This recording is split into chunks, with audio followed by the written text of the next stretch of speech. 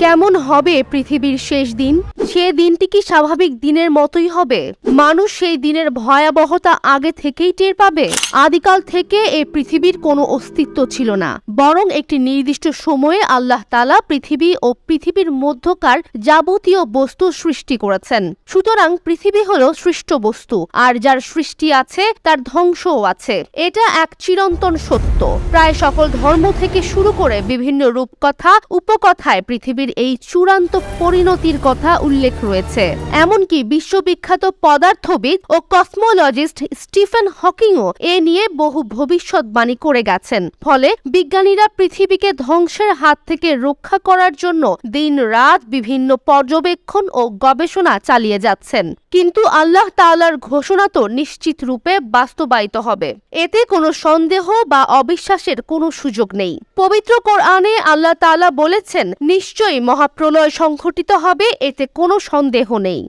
এই পৃথিবী ক্রমশ ধ্বংসের দিকে এগিয়ে চলেছে। কিন্তু প্রশ্ন হলো, পৃথিবীর শেষ দিনটি কেমন হবে? যেদিন হবে, পৃথিবীর শেষ দিন, যে দিনের পর পৃথিবীর আর কোনো অস্তিত্ব থাকবে না, সে দিনটির চিত্র কেমন হবে? সেদিন কি বর্তমানের স্বাভাবিক দিনের মতো হবে? নাকি সকলে বুঝে ফেলবে যে আজকেই পৃথিবীর শেষ দিন, তাই শেষ মুহূর্তের অপেক্ষা করবে? আমাদের এই পৃথিবী প্রায় আটশো কোটি মানুষ, কোটি কোটি উদ্ভিদ এবং প্রাণীর আবাসস্থল। মহাকাশে কোটি কোটি গ্রহ রয়েছে, কিন্তু একটিতেও এখনও পৃথিবীর মতো প্রাণীর জন্য প্রয়োজনীয় যাবতীয় ব্যবস্থা খুঁজে পাওয়া যায়নি। অথচ আল্লাহ তালা পৃথিবী নামক গ্রহটিকে নরম মাটি, খনিজ পদার্থ ও পর্বতমালার সমন্বয়ে অপরূপভাবে সৃষ্টি করেছেন। আমরা জানি এ পৃথিবী প্রচণ্ড গতিতে ঘুরে চলেছে। বিজ্ঞানীদের হিসেব মতে পৃথিবী প্রায় প্রতি সেকেন্ডে বারো দশমিক দুই কিলোমিটার গতিতে নিজ অক্ষে ঘুরে চলেছে। প্রচণ্ড গতিতে চলন্ত কোনো বস্তু যখন হঠাৎ স্থির হয়ে যায়, তখন একটি বিপরীত ঘটনা ঘটে। গতির তীব্রতার প্রতিঘাতের ফলে চলন্ত বস্তুর ভেতরকার স্থির বস্তুগুলোর মধ্যে প্রচণ্ড বেগে ধাক্কা লাগে।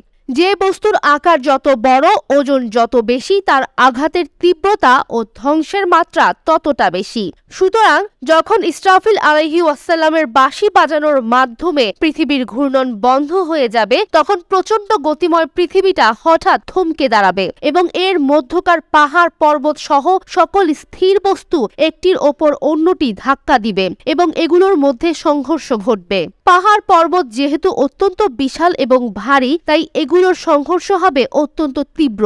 যেদিন আকাশ আন্দোলিত হবে প্রবলভাবে এবং পর্বতমালা দ্রুত চলতে থাকবে, আকাশে যেমন হালকা মেঘমালা উড়ে উড়ে চলতে থাকে, সেদিন বিশাল ভারী পাহাড় পর্বতগুলো স্থানচ্যুত হয়ে হালকা মেঘেদের মতো চলতে থাকবে। তীব্র সংঘর্ষের তোড়ে পাহাড়গুলো ছিন্ন বিচ্ছিন্ন হয়ে যাবে এবং ধুলার মতো উঠতে থাকবে। সেদিন পৃথিবী ও পর্বতমালা প্রকম্পিত হয়ে উঠবে এবং পর্বতগুলো চলন্ত বালুর স্তূপে পরিণত হবে। যখন পৃথিবীর খুঁটি পাহাড়গুলোর স্থানচ্যুত হয়ে যাবে, তখন পৃথিবীর ভারসাম্য নষ্ট হয়ে যাবে। ফলে পৃথিবীর অভ্যন্তরে যা কিছু থাকবে, তা তৎক্ষণাৎ বেরিয়ে যাবে। পৃথিবীর ভেতরের জিনিস বাইরে এবং নিচের জিনিস উপরে চলে আসবে।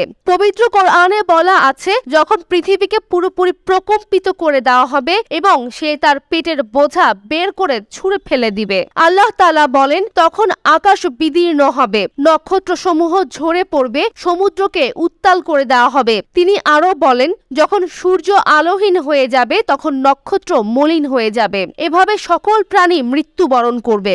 শেষ দিনের ভয়াবহ কর্মকাণ্ড শুরু হয়ে গেলে জমিনের অধিবাসী ও মানুষের মধ্যে কঠিন ভয় ও মারাত্মক আতঙ্ক ছড়িয়ে পড়বে এবং তারা সম্পূর্ণভাবে কিং কর্তব্য বিমূঢ় হয়ে পড়বে। পাপিষ্ঠ মানুষেরা যখন পৃথিবীর চূড়ান্ত ধ্বংস প্রত্যক্ষ করবে, কিন্তু চেয়ে চেয়ে দেখা ছাড়া আর কিছু করতে পারবে না। পৃথিবীর শেষ দিনে তখনকার জীবিত মানুষেরা দৈনন্দিন জীবনের মতো নিজেদের কাজকর্মে ব্যস্ত থাকবে। কেউ ঘুণাক্ষরেও টের পাবে না যে আজকেই কেয়ামত সংঘটিত হবে। আজই হলো পৃথিবীর শেষ দিন।